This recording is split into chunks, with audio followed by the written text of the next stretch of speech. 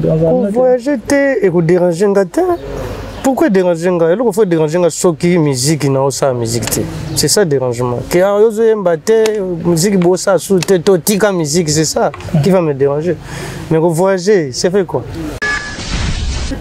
kobeta partout partout partout elakisaka te koza grand mpo eza mpe na bagrand mosusu babeta bongo te mais baza plus grand ke bato babetaka betaka trop parce que ce qui est rare cher oui yo kobeta michael jackson trois concert na semaine moko so monango michael jackson akobeta samedi na vendredi ça existe déjà okoki okanga osekour na kati ya ebale ata ozomona moto te bolingo ekomeli nga touche joue nayelaki otonga kasi le bolingo na mabele oyo oza na boyaki otuna tala lelo oyo nakomi zobazoba nkanda lopango na maboko bato mosusu baza bapeuple nomade parce que bamilingi bongo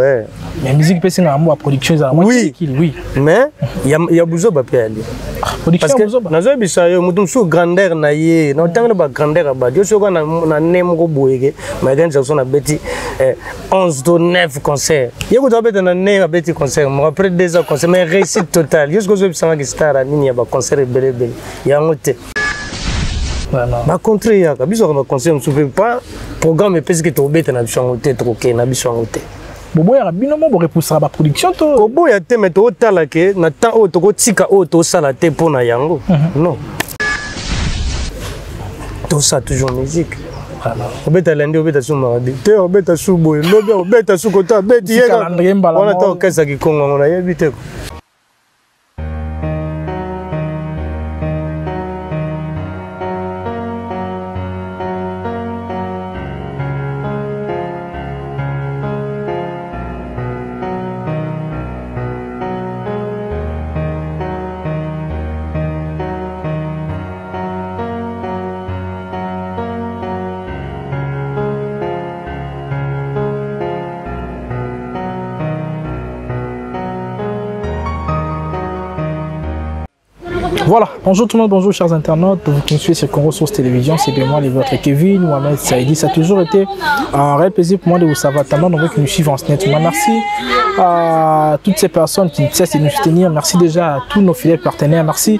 à 100% polémique merci à Congo et KC News merci à bandeko nyos baza wana pona ko réitérer confiance pe fité mo ça auto sala déjà plus particulièrement je te dis un grand merci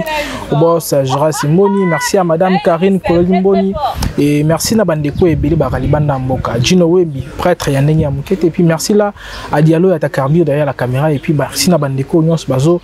euh, ko sunga biso na bandenge ebele suggestion ba remarque pona to mekamwa mke ko améliorer mosala yango nde surtout pusana ndenge ya bongo déjà nous sommes là tokolobela mpena lelo en ce qui concerne les actualités euh, musicales et nous le savons très bien que le 24 juin prochain c'est un concert un événement oyo bato nyonso baza kozela yango bamélomane ya bonne musique bazozela yango à bras ouvert et là euh, tokoyamba mpe lelo moko ya bamusicien qui fait partie na jet set oyo ezali orchestre char ya ferregola jésus de nuance qui est ferrari tokomeka mpena lelo kosola mwa masolo ebele déjà il a un parcours et puis là il fait un carrière plutôt une carrière oyo lelo il faut to négliger te parce que c'est naloba aza talent moko oyo ezali purement kopesa lokumu na culture na biso et puis là tokobeta mpe masolo etali euh, stade de martyr pourquoi pas kobeta mpe masolo ya report oyo ezalaki ya sortie mondiale ya dynastie volume 2 oyo biso nyonso tobandaki kozela mpenza na bolingo et puis là tomonaki ebimaki mpena te déjà nous sommes là nous sommes là avec lui pour ne pas monopoliser ma parole nazwaka déjà mon invité qui est ferraki et oyo tozali na plateau à qui j'ai déjà bonjour ferrari bonjour mon frère bonne santé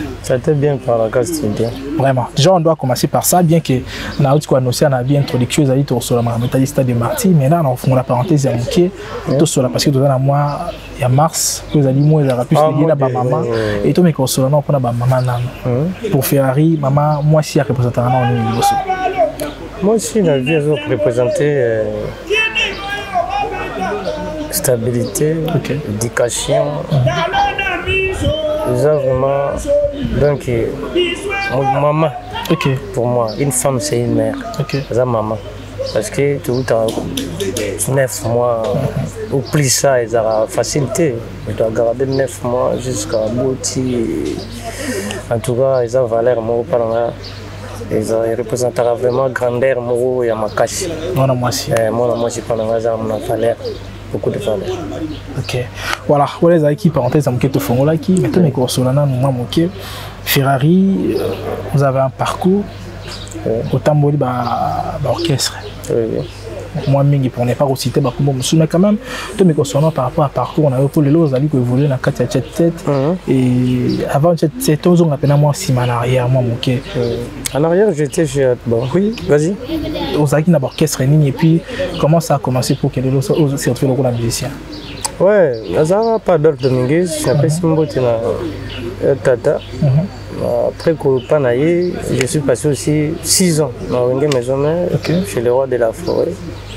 Et ça fait 4 ans, je suis avec les patres. yo betanga masolo ba ghetto te euh, oui ghetto touta déjà ghetto là personne ne voyait moto anda omona ghetto te touta nso ba ghetto na pale kaka mwa prai okenda ndeti nga neyo apostolique onoyi papier na moko bakoa eh, neyo Père na za cher recteur. Pour ba moi ba OK, moi ba ba nuance wana on est utaka ba côté kuna. Ah oui hein. Na musique utaka banda bo na église, euh, mutu ta utaka quelque part. OK. Mais chorale et zarapé esika moko boye reformaka mpe chanteur eye kosakana te eza na banzela mpe korale mpene epesaka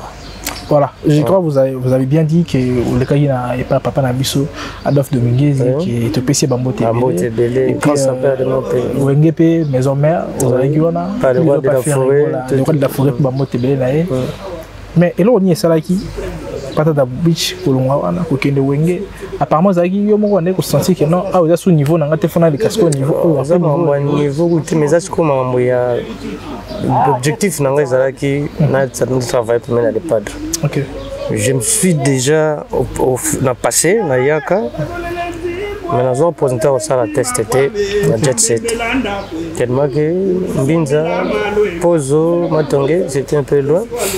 Arrivé un petit Nantes. yango na obetaki mpa tata koti mpe tobeti na ya tata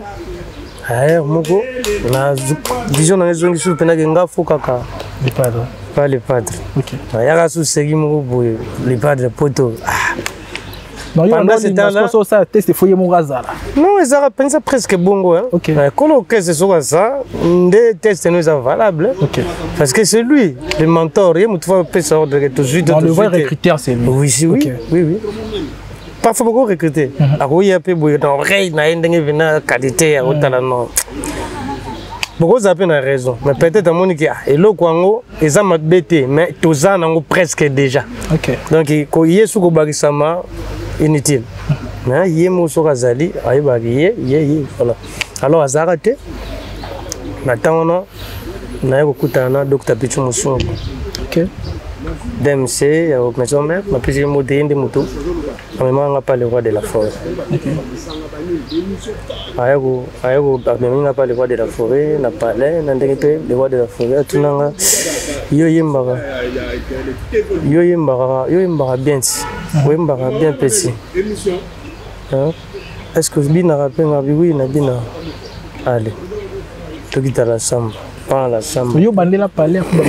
oui la samba mbala moko ti nasala teste na nga mbala moko makambo ela na la samba ntango oyo naso nazwi yo ovandi na orchestre ofai na orchestre na la samba osalaka combien de temps nakola samba en 6 ans c'est 2013 à 2019 6 ans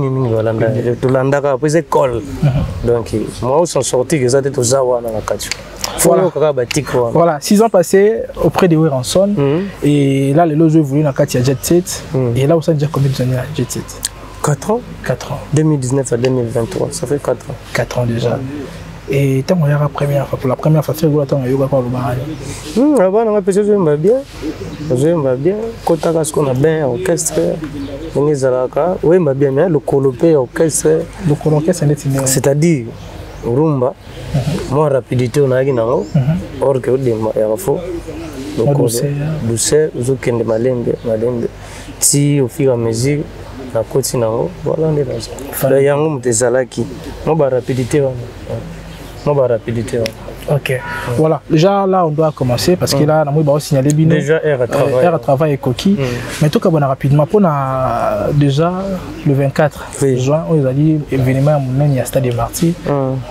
mpo na bagaulois bosi prépare ndenge nini na bango parce que lando ozwa sungonga mingi te oui toujours se prépare conséquence voilà to travaille toujours mpo nango mhm. événement du siècle ozala mhm. le 24 juin mhm. en tout cas bazala ngo calme parce que bayebi déjà ke tosalaka mosala bien et ma mosusu tobongisela bango ekozala visibilité ya jour wana jusque lana bobandi promotion te promotion déjà mais bientôt là okomona yango sikoyo visiblement comme ça ok ouais. voilà avant euh, mon eloko oyebaka ezalaka déjà baprépare hmm. eza nango sikoyo nde tolakisa bino yango kala te ke voilà promotion yangopo bato baolela bapanneau publicitaire rien mais yango na biso ke reste calme vous allez voir ça bientôt quelles sont les qualités oyo appréciera pas faire voilà sa capacité de gérer d'abord les choses, les affaires musicales. Okay. C'est un grand leader qui est trop calme et il a la maîtrise au Saranate. aza motu agardaka tete froid ye la tête mm. haute okay. asalaka makambo te mpo oyo asali alandaka te atalaka objectif na oyo ye azali avoir azalaka na confiance na ye c'est ça qui me fait oui détermination mpe omona ba accrochaka toujours c'est ça baqualité nasepelaka le pade aza moto achangaka changaka maloba te aza moto akendaka gauche droite te tout droit c'est comme ça et ça vous dérange aussi ça vous dérange aussi ntango bamisie mosusu balekaka na télévision par exemple bobeta masolo ke no bino bovoyage arrete tout kovoyage te ekoderange nga te pourquoi déranger nga eloko faut déranger nga soki musique na osala musique te c'est ça dérangement ke ah, yo ozoyemba te musique bosala su te to tika musique c'est ça qui va me déranger mais ko voyager c'est fait quoi ezo faire partie mhm. na mosala osalaka mosala tosalaka ememaka kaka bavoyage ntango moko ekozalaki bacontrat mpe ye me makambo osala epermettre te bokende to mpe ye te mpo ekoya kobeta partout partout partout elakisaka te koza grand po eza mpe na bagrand mosusu babeta bongo te baza plus grand ke bato babetaka betaka trop parce que ce qui est rare cher oui yo kobetisa michael jackson trois concert na semaine moko so monango michael jackson akobeta samedi na vendredi ça existait déjà Déjà okokosa yango te parce que grandeur ne ko permettre te que oh, akobeta les 11, akobeta les 13, akobeta les 14 jamais. C'est pour les d'affilée wana. Non, eza pour na bateau yo soki abimi ta kolia te. Ana économie te. Oui, c'est ça. Bongo siko. Moto abimaka chaque jour eza pour soki oza engagé na entreprise tobimaka chaque jour pourquoi non chaque jour parce que soki obimi te okolia te donc eza bongo oza na économie te mpo moto mosusu abimaka chaque jour mpo aza oblige mpo aza engage aza na salaire aza na mambo tototo bato mosusu baza bapeuple nomade parce que bamilingi bongo mais musique mpe esengaka mwa production ezala oui mais ya buzoba mpe ali nazoyebisa yo moto mosusu grandeur na ye na otangana bagrandeur ya bato yo soki oka na ne moko boyeke mayekanisa koso na beti eh, 11 to 9 concert ye kutu abeta na ne abeti concert moko après deux ans concert mais réussite totale ye soki ozoyebisangaki star ya nini ya baconcert ebele ebele yango te la musique est l'art de combiner le son d'une manière agréable à l'oreille il faut pas koajouter makambo so eza na kati ya définition musicale te eyaka parce que eyaka biso mpe toya na époque moko ezalaki ezalaki mpe ezalaka mais sauf que toza na makambo oyo eza na important fo tosala faut tobeta stade na biso calme tolaki bato deuxième volume kala te après bokomona baretomba biloko wana to bacontre eyaka biso aka baconseil mosusu mpe pa programme epesi ke tokobeta na biso yango te tokokende na biso yango te boboyaka bino mo borepusaka baproduction to koboya te me tokotala ke na temps oyo tokotika oyo tosala te mpo na yango mhm. non tout ça toujours musique obeta landi obeta su maradi te obeta su boye lobi obeta su kota abeti yewana ta okesa kikongo yango nayebi te wana baobeti so mpe na bacombien combien mais quand même ti moto asala déplacement ta mosusu par exemple guinée france belgique seke bakache mpe ya bien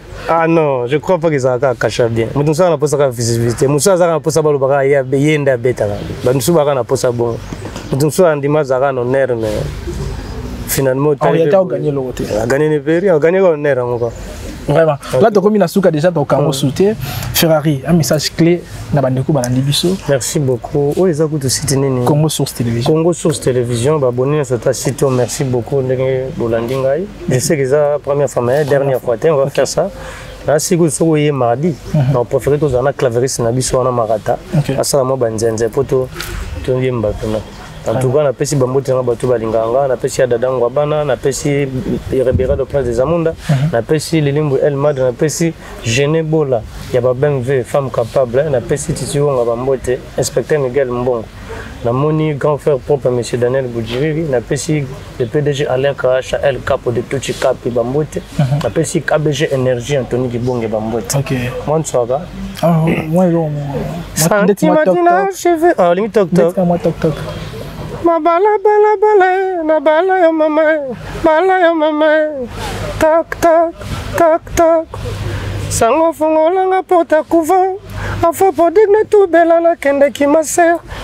Nake deja ba viole ve ya manga Pardon nakoki te ya manga eh. Nakoki te na lashe Olingo gu na masolo Soka je tombola plein de surprise Soka lingi yo kokoma toujours sai Okoki obwakisa ta visa paradis Mwana mato ebotoli Moto to akomi jalouse et jaloux Jaloux jaloux Nzoka love eza ndeti kisi fozala na notice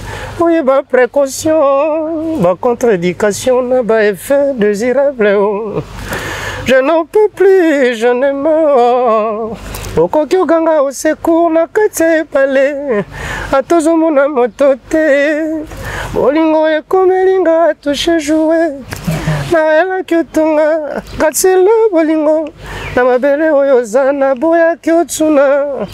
tala lelo oyo nakomi zobazoba nkanda lopango na maboko lopango ekule olingo enanye voilà merci beaucoup voilà merci voilà. beaucoup ferrari je crois tozwi ota mingi te mais quand même prochainement tokozwa ta bie et là okende na répétition mpona moni déjà bengi bino déjà déjà déjà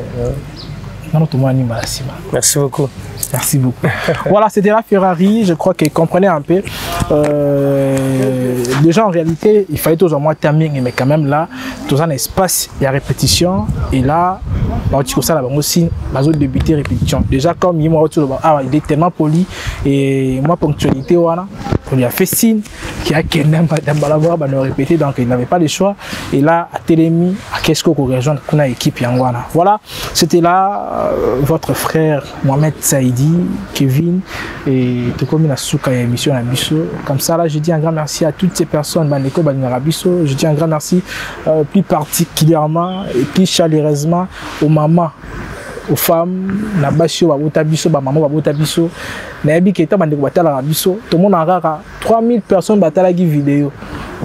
4000 personnes batalaki video et parmi ces personnes là ezalaka mpe na bamama bazalaka mwa ebele bamama babonne fête na bino tokomi le 9 le 8 mais quand même mwa ezalaka dédié mpo na bino et là tomonaki makambo ya numérisation tomonaki makambo ebele ebele ezalaki lokola terme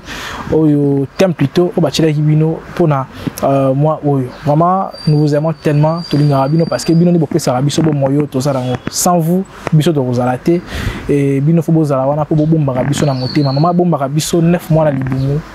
e ou plus même ekomaka mpe na temps moko mwasi akoma koporte su mwana yango na motema abomi moto na libumu oyo alekisi temps et après ça aye komeme so na motema et on le voit souvent tant tozwaka baproblème papa mpena akoki kolela na ye aleli na ye aleli mpena abeti mpe motu na mire mais mama nde abalukaka na se mpo na kolakisa bolingo oyo azalaka nango mpa na biso vous méritez tellement nous vous aimons tellement tolingaka bino mingi e, bozala wana toujours mpo na biso bobanda kosutenir biso botalaka biso bozalaka na biso bosutenaka biso bobengaka biso bopesaka biso mateya ebele e bino nde bopriaka mpo na biso topambwama tokende liboso nde tokendaka liboso vraiment nous vous aimons vraiment et là je dis un grand merci comme ça à maman Magui Mbundani qui est ma maman et merci une fois de plus à maman Bibiche maman Bibiche euh, maman Bibiche bambote ebele na yo bisika ozwami lelo et merci à maman Titi merci à maman euh, bandeko baza maman Christine bandeko baza ebele bamama merci à tantine jacqui ndelo merci na bandeko ebele bamama nyonso bazalaka na biso merci à ma sœur irène mwanza merci à jenny masanka une maman aussi et merci na bandeko nyonso batalaka biso lelo plus nabwaki bamama mais nazongi mpe kotia bapapa merci au brosse jera simoni merci à madame karine kololo mboni merci à, à naomi eyaba une femme merci